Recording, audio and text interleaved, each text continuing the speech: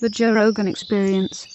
It's interesting to see you even just fuck around with your skateboard, just the way you maneuver it. You're so you're so adept. It's w- really weird, like you, the way you move your feet and just pick it up and Oh, it's very thanks. Impressive. I mean, it really is just at this point kind of an extension of my body. it seems like and uh, it, it's I guess it's weird. I don't think about how comfortable I am, and a lot of times we'll be in a city or something, or just like now, I didn't know where to park, right? So I just parked somewhere kind of close and just I go skate, and I feel way better about doing that than like parking and then walking somewhere, and it just you know I know I can get around people and sort of be indiscreet and and uh, stealthy. And wait, wait, indiscreet. Well, Tony I'm just Hawk saying, on a like- skateboard is indiscreet.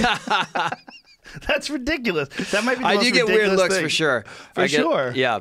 They're I like, get "Is that-" a lot of do a kickflips out from car oh, windows. Oh, really? Yeah. Oh, that's funny. yeah. That's my curse that I that I that's my burden I carry.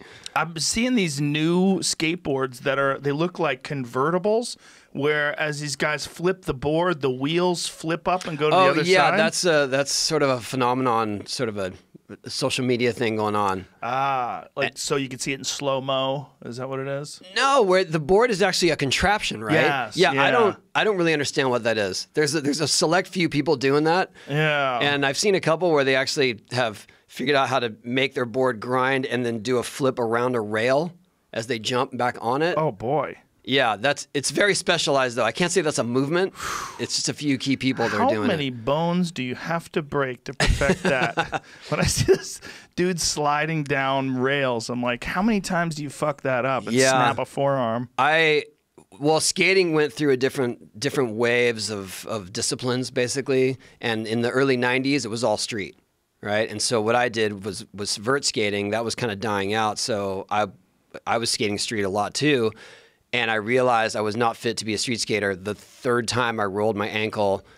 Like both ankles twice. Then the third time, the other one, I was like, I don't want to do handrails anymore. This is not working for me.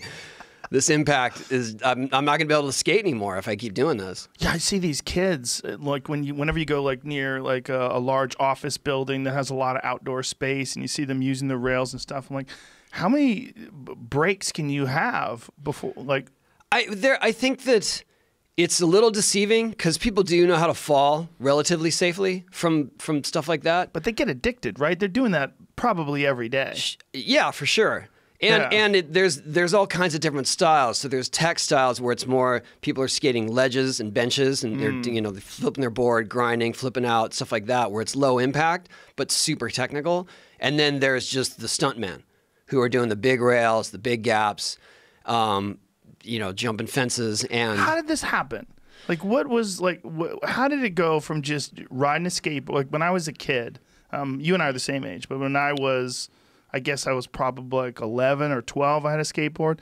I was just riding it on the street, like Yep. all my friends. We just ride a skateboard on the street.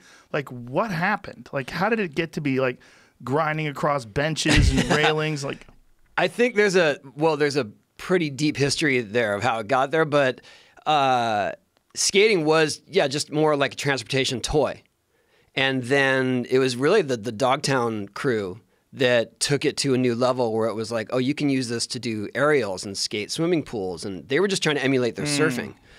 And so then skate parks started cropping up. Skating got popular in the late 70s, early 80s, and then it was all swimming pools.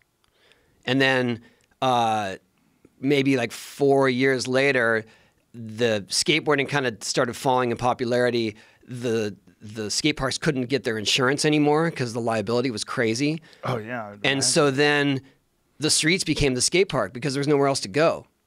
And there was a, this there were a few key skaters that that figured out how to use like the urban landscape as a skate park and then that was it. Like it, it was all bets are off. Skating kind of took off in the underground as the street culture, street sport. And then people started doing handrails, ledges, benches, stairs because they just didn't have parks.